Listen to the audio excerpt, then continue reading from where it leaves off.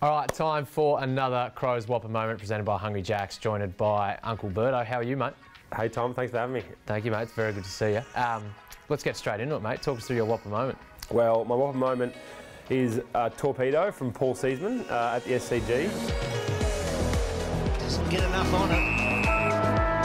This will be interesting. Not absolutely beyond. and he's uh, kicked it from near the junction for about 65 metres. And Paul's my favourite player, so I just I just loved it. Barrel. Going, going, going all! Going all the way! What a way to finish the opening turn.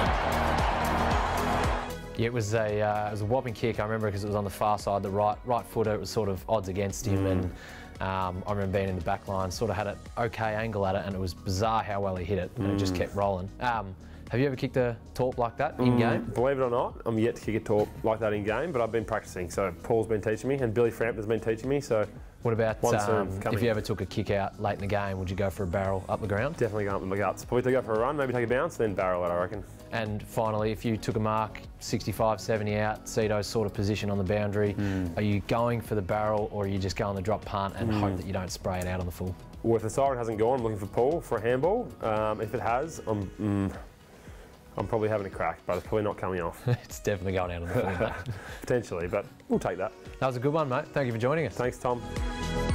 Every time you attend an Adelaide Crows home game, you could score a free Whopper from Hungry Jacks. Simply download the Hungry Jacks app for your chance to win.